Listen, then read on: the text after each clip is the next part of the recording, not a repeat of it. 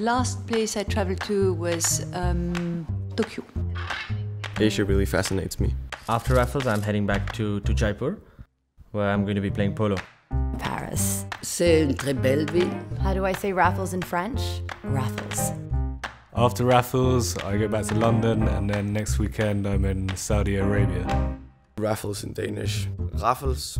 Welcome to Raffles. Raffles.